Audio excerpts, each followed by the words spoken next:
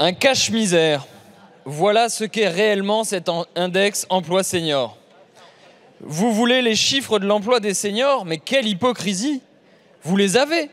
Vous savez bien qu'à 62 ans, 40% des personnes n'ont déjà plus d'emploi, et vous savez bien que pour eux, le taux de pauvreté est de 32%, alors qu'il est pour les autres autour de 7%.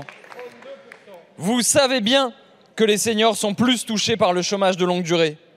Et ne venez pas nous dire qu'il faut les mettre au travail, c'est aux jeunes qu'il faut garantir l'emploi. Voilà la situation piteuse après cinq ans de macronisme.